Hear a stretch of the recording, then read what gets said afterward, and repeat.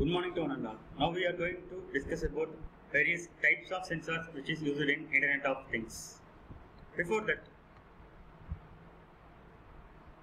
we are want to discuss about what is sensor. Sensors or actuators are the devices that are able to emit, accept and process the data over the network. The sensors or actuators may be connected either through wired or wireless connections. This contains GPS, electromechanical, gyroscope, RFID which works under radio frequency. Most of the sensors need connectivity through sensor gateways. The connection of sensors or actuators can be through a local area network or personal area network.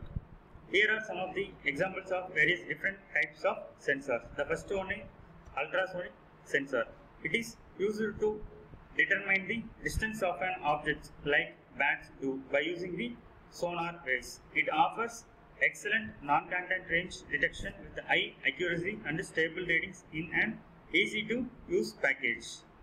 Second type infrared obstacle avoidance sensor module. This module is very easy to use and is often used in robots to detect objects near the sensor. These sensors have a digital output pin that outputs a signal when it detects an object. And also when the module detects an obstacle, the green indicator light on the board lights up.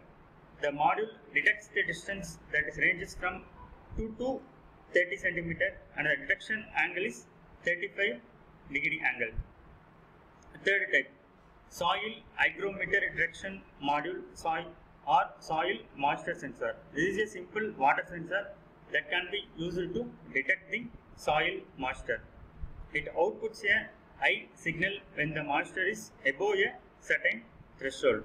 You can also read an analog signal whose value is proportional to the moisture level. It can be used to create an automatic self-watering plant. Fourth type, microphone sensor. This sensor is used for sound detection. This module has two outputs that is analog output and also digital output. The digital output sends a high signal when the sound intensity reaches a certain threshold. The threshold sensitivity can be adjusted via potentiometer on the sensor. Next, fifth type, barometric pressure sensor. It is used to measure the absolute pressure of the environment. By converting the pressure measures into altitude, you have a reliable sensor for determining the height of your robot or projectile, for example. The sensor also measures the temperature as well as humidity. Next, the sixth type is photoresistor sensor module light detection light. This can be used to detect the light detection with the help of an Arduino board. Next type, digital thermal sensor module temperature sensor module. The thermal sensor module is very sensitive to the ambient temperature, generally used to detect the ambient temperature. Type, rotary encoder module brick sensor development board. When you rotate the rotary encoder, it counts in the positive direction and the reverse direction. Rotation counts are not limited. With the buttons on the rotary encoder, you can reset to its initial state and start counting from zero.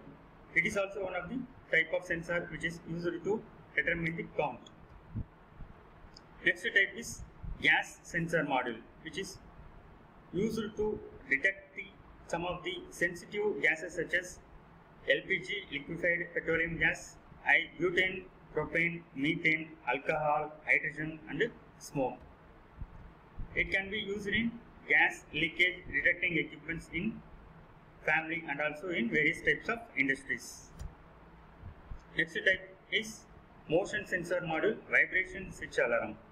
This module can be used to trigger the effect of various vibration, theft alarm, intelligent car, earthquake alarm, motorcycle alarm, etc. Next one is humidity and rain detection sensor module. This is the rain sensor.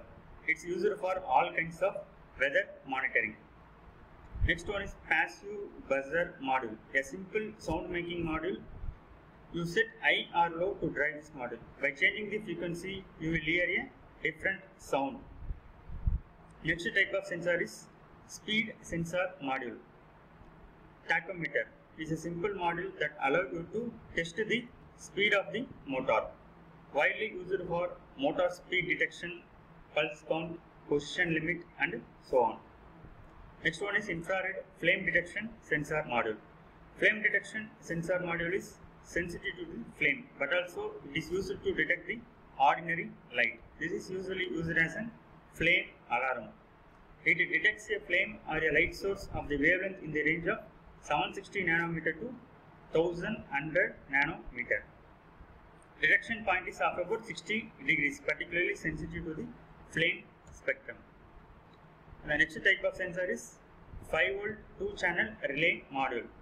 It allows you to control various applications that operate at high voltages with low voltages like 5 volt. It can be controlled directly by any type of microcontroller. Next type is breadboard power supply model.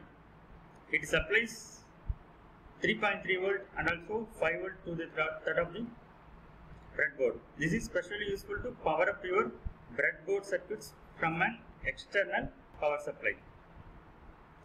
Next one is pyroelectric infrared sensor module. The PIR sensor is a module that allows you to detect movement from humans or else pets. It's easy to integrate with your microcontroller. Next type is accelerometer module. This module measures the acceleration. It's commonly used in portable devices and video game controllers to detect movement and actions from the player. Next one is temperature and humidity sensor, which is used to detect the temperature and humidity in the room. It integrates seamlessly with the Arduino board. Next type is transmitter and receiver sensor. If you need to send a data or if you need to receive the data from the microcontroller, we can use the RF433M and MHz module. It is also used to send the data with the help of radio frequency. Here we have discussed about the various different types of sensors. Thank you.